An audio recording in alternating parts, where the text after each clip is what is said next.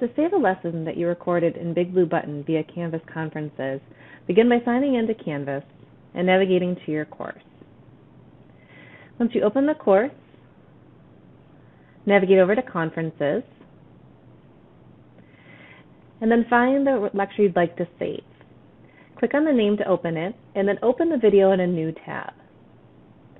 Once it opens, what you need to do here is right-click, and then go to Save Video As. This will bring open a dialog box where you can save your file, and you want to make sure you save it as an MP4. Give the file a name, and then say Save.